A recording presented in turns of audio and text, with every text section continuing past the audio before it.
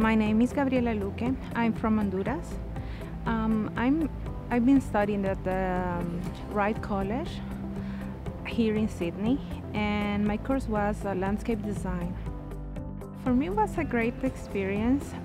You can uh, know how things work in another place. Uh, I'm from uh, Latin America, so things work in a different way. And yeah, yeah, it was an amazing experience to know how things work here and in a big country, how the people manage. Yeah. I have the opportun opportunity to go to Melbourne for a conference, and I met a lot of people, and uh, I was very really happy because I had the chance to build some uh, network with some people.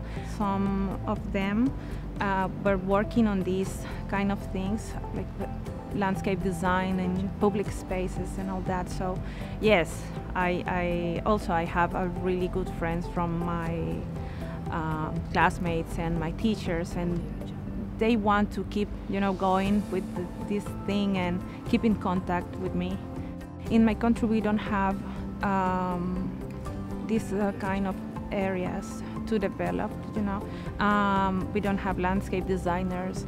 And what I was thinking was to work in the uh, public sector, working with the people and uh, try to build parks and all that. And we don't have that in my country. So I think uh, most of I have learned here will be really helpful.